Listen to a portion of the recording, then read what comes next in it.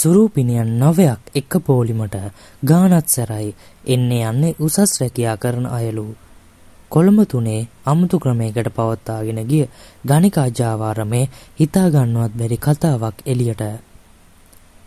සම්බාහනා මධ්‍යස්ථානයක් මුවාවෙන් Kollupitiya Alfred House ප්‍රදේශයේ පවත්වාගෙන ගිය ගණිකා මඩමක් වටලා එහි කළමනාකාරීනිය ඇතිළු කාන්තාවන් දස දෙනෙකු අත්අඩංගුවට ගත් බව කොල්ලුපිටිය පොලිසිය පවසනවා.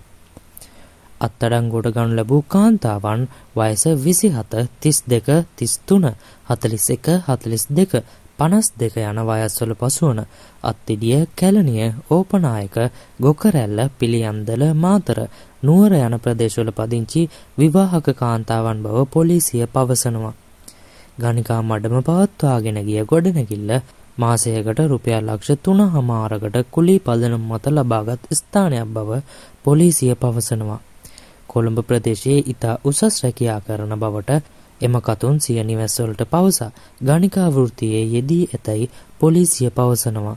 සැකකාරිනියන් අධිකරණයට ඉදිරිපත් කිරීමට නියමිත බව පොලිසිය වැඩිදුරටත් පවසා සිටියා.